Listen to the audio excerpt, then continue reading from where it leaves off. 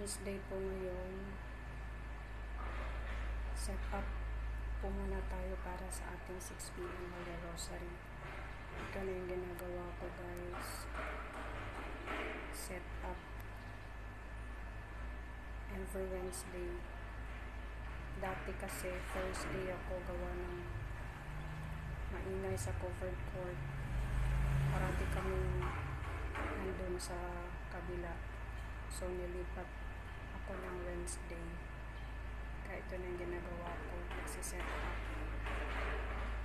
Mamaya, magla-live tayo sa sino ako Catholic Charismatic Community.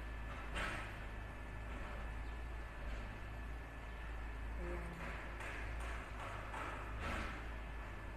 Yan lang guys. Thank you for watching.